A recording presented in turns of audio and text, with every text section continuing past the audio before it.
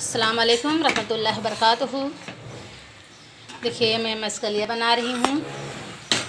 मस्कलिया उड़द की दाल में बनता है। ये, मैंने पहले गोश्त को रखी, उसमें कांदा तीन डाली, उसमें सारा मसाला डाल दी हूँ, तेज़पत्ता, लकड़ी, ये सब, पिसा मसाला सारा डाल के मैंने चढ़ा दी, दो सीटी लगा दी हूँ। अब उसको सीटी निकाल के उसमें उड़द का दाल में डाली हूँ। मैंने 10-15 मिनट पहले उड़द का दाल भिगा दी थी। अब उसको डाल के भुनाई कर रही हूँ, देखिए ना। ये भी देखिए ना कितना टेस्टी है उड़द का दाल है। ये ये देखिए। ये बहुत टेस्टी बनता है। फिर इसके बाद भुनाई करके मैं इसमें सालन लगाऊँगी। तो काफ़ी देर से भुनाई कर रही हूँ। हो गया है पंद्रह बीस मिनट से ज़्यादा हो गया है। अब मैं इसमें सालन लगाने जा रही हूँ। फिर इसको मैं तीन सीटी लगा दूँगी।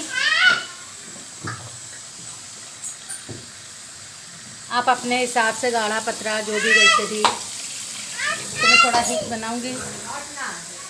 तो गाढ़ा बनाऊँगी। ये देखिए मैंने सालन लगा दी हूँ। ये देखिए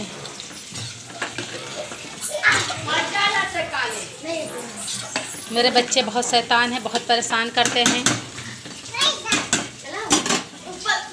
ये देखिए देखिए। अभी जब बन जाएगा तो फिर मैं आपको दिखाती हूँ। अभी तो मैं सालन डाली हूँ थोड़ा इसमें और डालूँगी। दाल को पकना है, गोश्त को भी पकना है, गोश्त भी अभी कम गला है। हमने मटन में बनाई हूँ, ये। फिर ये तीन सीटी लगाऊँगी इसमें। फिर उसके बाद इस सीटी अपने आप निकल जाएगी तो इसमें कोतमीर और गरम मसाला डालूँगी, ऊपर से कांदा की फ्राई करूँगी। और इसको शेयर करिए। इसको बना के खाइए, बहुत टेस्टी बनता है। अस्सलाम वालेकुम